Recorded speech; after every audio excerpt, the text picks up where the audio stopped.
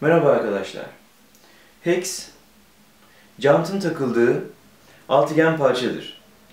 Rulman da sürtünmeyi en az seviyeye indiren hex'in altında bulunan parçalar grubudur. Genelde toplam 8 adet bulunur. İç rulman ve dış rulman olmak üzere. Genelde başlangıç seviyesi araçlarda rulmanlar plastiktir.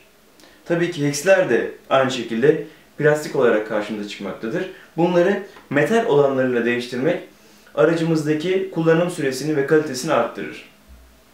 Rulmanlar plastik olduğunda ise sürtünme arttığından araba akıcılığını kaybeder.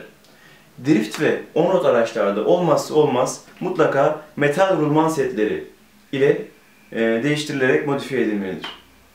Hex'lerin bağlantıları iki tiptir. Birincisi çok basit model araçlarda kullanılan vidalı hex sistemleri. Bunlar 3 adet çentikle e, araca ve tekerlekte vidayla sabitlenmektedir. E, kesinlikle tavsiye etmiyorum.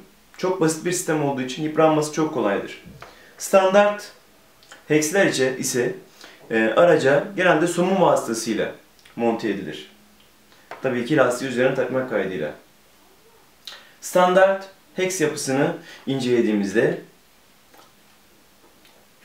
jant lastik grubumuzun ve hex bağlantımızın görüyoruz boyutlarını. 1 bölü 10 araçlarda genelde 12 milimlik hex bağlantıları bulunmaktadır. Lastiğimizi takıp somun ile sıkıştırdığımız zaman hex bağlantımız tamam oluyor. 1 bölü 10 araçlarda 12 milim hex, 1 bölü 8 araçlarda ise genelde 14 milim 17 milim hexler bulunmaktadır. Tabii ki offroad araçlarda mutlaka ve mutlaka hexler metal olmalıdır. Eğer heximizin boyutunu bilmiyorsak çok basit bir cetvel yardımıyla ölçerek heximizin kaç milim olduğunu bulabiliriz ve buna uygun lastik jant takımı alabiliriz. Bir de standart hexleri e, daha büyük hale getiren hex büyütücüler vardır. Bunlar da janta takılarak şu şekilde 14 milim bir hex bunu janta yerleştirip çok büyük hexli lastikleri de kullanabilme imkanı tanımaktadır bize. Yani hex büyütücülerle istediğimiz oranda da lastikler kullanabiliriz.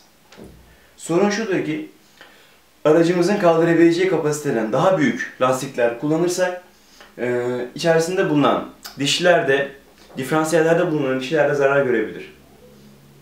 Son olarak hex boyutuna uygun jant ve lastik alınmalıdır. Gördüğünüz gibi 12 milim ise 12 milim, 14 milim ise 14 milimlik lastik jant alınmalıdır. Bazıları da hexler çabuk kırıldığı için bunları jant ve lastiğin içine yapıştırmayı tercih ederler. Bu şekilde araca monte ederler. Bu da e, bir yöntem olabilir. Ama yapıştırmamak daha iyidir. Mühim olan plastik olan parçaları metal olanlarla değiştirmektir. Teşekkürler.